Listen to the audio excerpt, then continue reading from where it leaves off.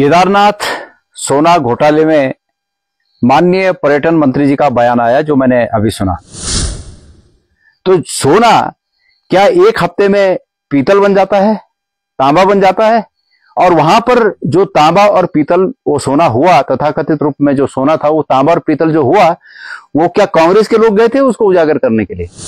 मेरे कुछ प्रश्न है माननीय पर्यटन मंत्री जी से। मैं उम्मीद करता हूँ कि निश्चित रूप में वो इन प्रश्नों का उत्तर देकर पब्लिक डोमेन में अपनी विश्वसनीयता बनाए रखेंगे। नंबर एक प्रश्न है। दोस्तों, नमस्कार। क्या केदारनाथ मंदिर में सोना घोटाला सच में हुआ या नहीं? क्या केदारनाथ मंदिर से 228 किलोग्राम सोना गायब हुआ या फिर केदारनाथ में आया क्विंटलों सोना पीतल बन गया और बन गया तो कैसे बन गया? इसकी चर्चा लंबे समय से चल रही है। आज इसी वीडियो में उत्तराखंड पर्यटन मंत्री सतपाल महाराज द्वारा इसी संबंध में दिए गए बयान को सुनेंगे और उसके बाद उनके बयान पर उत्तराखंड कांग्रेस के वरिष्ठ नेता गणेश गोदयाल का जवाब और उनके प्रश्न सुनेंगे। इन दोनों के बयानों से केदारनाथ मंदिर सोने से संबंधित असमंजस काफ़ी हद तक स्पष्ट हो जाएगा। इसलिए वीडियो को पूरा देखिए, जानकारी अच्छी लगे तो लाइक और शेयर कीजिए। यदि अभी तक चैनल को सब्सक्राइब नहीं किया है तो चैनल को सब्सक्राइब भी अवश्य कीजिए। उत्तराखंड कांग्रेस के वरिष्ठ नेता पूर्व प्रदेश अध्यक्ष गणेश गोदयाल ने उत्तराखंड के पर्यटन मंत्री सतपाल महाराज से कुछ सवाल पूछे हैं। क्या सतपाल महाराज के पास इन सवालों का जवाब होगा, जिन्हें आप इसी वीडियो में गणेश गोदियाल की जुबानी सुनने वाले हैं? चूँकि उत्तराखंड पर्यटन मंत्री सतपाल महाराज ने बीते दिन प्रेस वार्ता के दौरान केदारनाथ के सोने संबंधित बयान दिया था जिसमें उन्होंने बताया कि दानदाता द्वारा कुल कितना सोना दान के रूप में दिया गया है। उन्होंने बताया कि इस मामले से संबंधित जाँच गढ़वाल कमिश्नर के द्वारा कराई गई। जाँच की रिपोर्ट आने वाली है, शासन में गई है। जैसे ही जाँच की रिपोर्ट आएगी, उसे सार्वजनिक कर दिया जाएगा। सतपाल महाराज ने अपने बयान में क्या कुछ कहा और गणेश गोदयाल ने उस पर क्या जवाब दिया और कौन कौन से प्रश्न पूछे, आइए सुनते हैं। पहले पर्यटन मंत्री सतपाल महाराज का प्रेस वार्ता में दिया गया ये बयान और इसके बाद गणेश गोदयाल का जवाब और प्रश्न सुनेंगे। आप ये देखिए, मैं आपसे प्रार्थना करना चाहता हूँ। दानदाता जो थे, उन्होंने तेईस किलो सोना दिया। उसकी पर्ची कटी हुई है। तेईस किलो जब सोना दान में दिया गया तो 228 किलो कैसे चोरी हो गया? आप यही बताइए मुझे। तो इसमें भ्रांति है, उस भ्रांति का हमने निराकरण कर दिया है। मैंने उसी समय कमिश्नर गढ़वाल से जाँच कराई थी। जाँच की रिपोर्ट आने वाली है। शासन में गई है। शासन हमें भेज देगा। जाँच की रिपोर्ट आपके आगे हम सार्वजनिक कर देंगे। कांग्रेस के लिए इस मुद्दे को क्यों कांग्रेस तो कुछ ना कुछ बोलना है। उनको झूठ सच बोलना है। आप बताइए 228 किलो सोना को छोटी मोटी रकम होती है। छोटी मोटी कोई उसका वज़न होता है। कहाँ चोरी हो गया? जब देने वाले ने 23 किलो दिया तो 228 चोरी कैसे हो गया? एक प्रश्न है। कांग्रेस का प्रश्न है कांग्रेस इस समय विपक्ष में है। कांग्रेस विसल ब्लोवर की भूमिका में है। अगर कुछ गलत है तो हम सीटी बजाते हैं और आपसे उम्मीद करते हैं कि हमारी उस सीटी पे आप चौकन्ना होकर इसकी जाँच करें। बहरहाल, आपकी जाँच एक सवा साल से अभी तक नहीं हुई और जो हुई भी है, वो शासन स्तर में है। अब आपके अलावा कौन शासन है, ये परमात्मा ही जाने। केदारनाथ, सोना घोटाले में माननीय पर्यटन मंत्री जी का बयान आया, जो मैंने अभी सुना।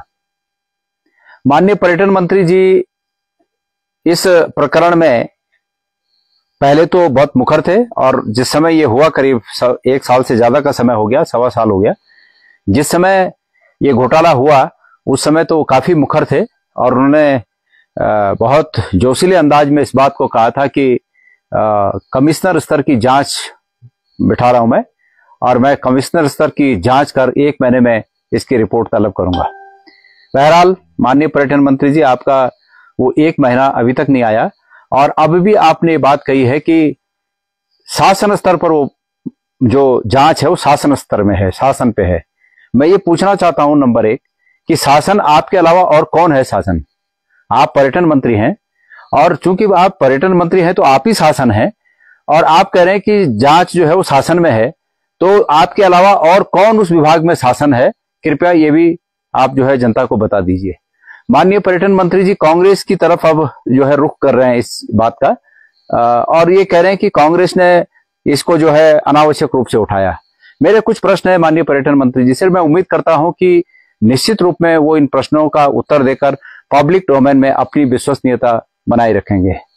नंबर एक प्रश्न है, क्या माननीय पर्यटन मंत्री जी इस बात से अनभिज्ञ हैं कि बद्रीनाथ केदारनाथ मंदिर समिति के माननीय अध्यक्ष, जो कि सोशल मीडिया में और टीवी चैनलों के माध्यम से इस बात को उस समय कहे हैं कि ये 300 किलो सोना आ रहा है और इसकी सुरक्षा के लिए हमने जाँच सुरक्षा एजेंसियों को लिखा है। क्या वो इस बात से अनभिज्ञ है? नंबर एक बात।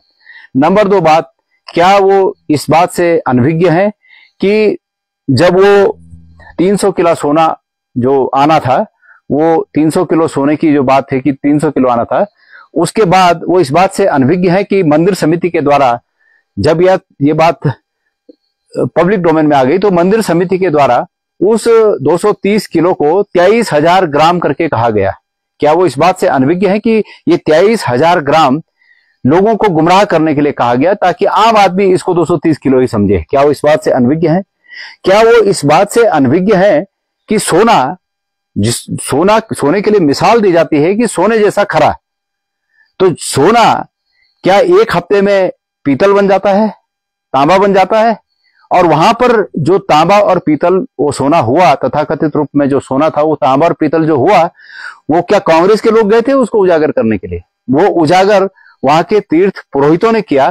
क्या इस बात से माननीय पर्यटन मंत्री जी अनविज्ञ हैं? अगर अनविज्ञ है तो उसको स्वीकार करें और विज्ञ है तो उन्हें कहना चाहिए कि भाई ये कैसे आ, सोना जो है वो तांबा हो गया या पीतल हो गया कैसे हो गया इसको भी उन्हें कहना चाहिए।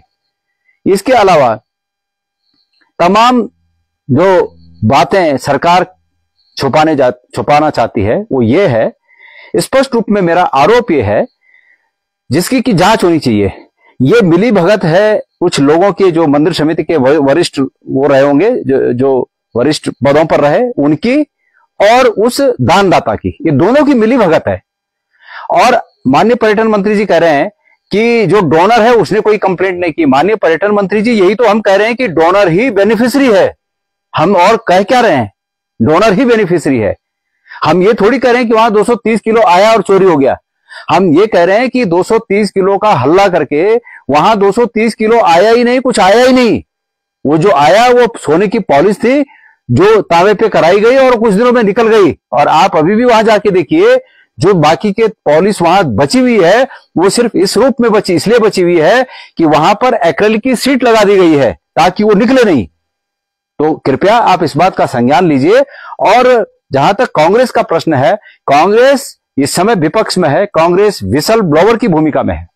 अगर कुछ गलत है तो हम सीटी बजाते हैं और आपसे उम्मीद करते हैं कि हमारी उस सीटी पे आप चौकन्ना होकर इसकी जाँच करें। बहरहाल, आपकी जाँच एक सवा साल से अभी तक नहीं हुई, और जो हुई भी है, वो शासन स्तर में है। अब आपके अलावा कौन शासन है, ये परमात्मा ही जाने।